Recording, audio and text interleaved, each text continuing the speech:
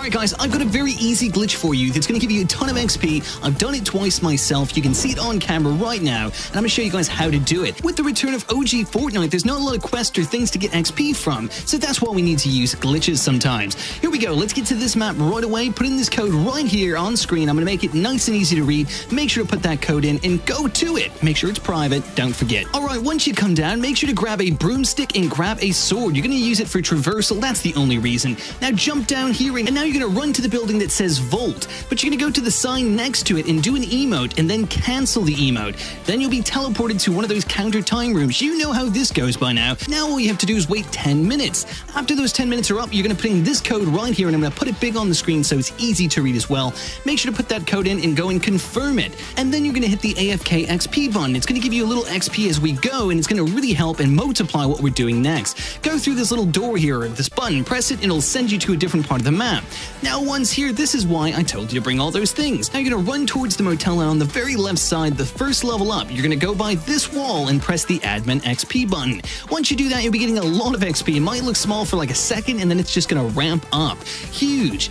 Next thing, you're to start back from where you were. Go around the building to the little green thing like the electrical box. And now I want you to hit the button. Again, there's another button back there. Make sure to hit it.